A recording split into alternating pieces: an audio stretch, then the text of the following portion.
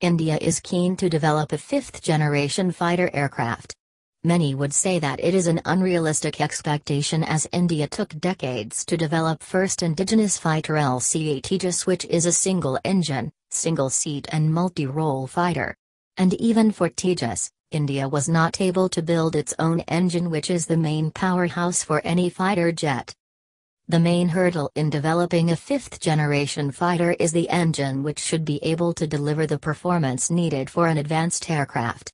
India has long been working on Kaveri engine project and it was actually this engine that was supposed to be fitted in LCA Tejas.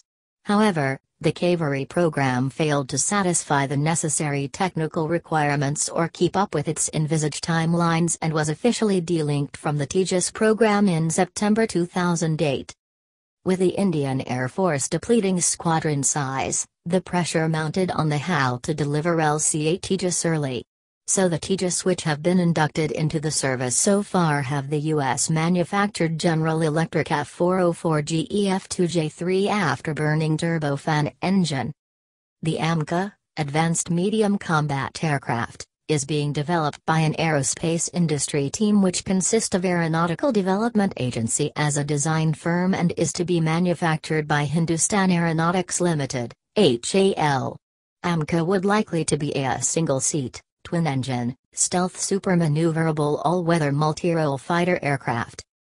AMCA should not be confused be with a separate FGFA program which is a co-venture between the Russians and HAL, so it is not an indigenous project.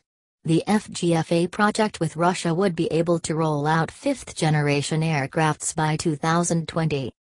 AMCA is totally different since it will completely be made by India. But for it to become a reality, the development of Kaveri engine is crucial.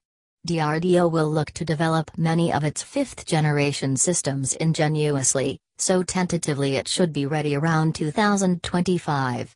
Some say that project may also get delayed up to 2030. A source close to One India said that projects do not get delayed because HAL lacks expertise. It happens because of numerous other external factors.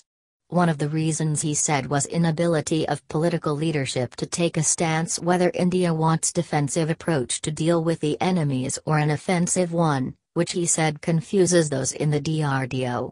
He also said that by the time DRDO and HAL develops a technology, the requirements of the IAF changes. The GTRE GTX35 VS Kaveri is an afterburning turbofan project developed by the Gas Turbine Research Establishment. GTRE, a lab under the DRDO in Bangalore. The Defense Research and Development Organization, DRDO, decided to wind up the Kaveri engine, GTX 35VS, program in November 2014 due to its shortcomings, a decision that will be finalized by the DAC. The GTRE is now running two separate successor engine programs, the K9 Plus program and the K10 program. France has offered to help India revive the unsuccessful Kaveri engine project. An upgraded Kaveri engine with 90 kN thrust compared to the existing 72 kN can be developed with French cooperation which can eventually be used for Tejas which currently uses an American engine. In theory the AMCA will be powered by a domestically manufactured Kaveri K9 or K10 engine currently undergoing development by the Gas Turbine Research Establishment. But making powerful and reliable jet engines from scratch is hard. Only after the Kaveri engines are ready, supposedly in 2019, can the serious work on the airframe really begin. Proposed upgraded Kaveri engine will be a 90 kN thrust class engine which will be marginally more powerful than GE supplied F404 GE IN20 engine which is currently generating 84 kN thrust. Ideally for Kaveri engine should be able to deliver 95 knots thrust. Finally, the ADA and HAL will need to produce sufficiently powerful turbofan engines to meet performance specifications. This is further complicated by the need for an S-shaped air intake that will shield the reflective turbofan blades from showing up on radar, as well as specially designed nozzles to reduce the heat signature of the engines from infrared sensors.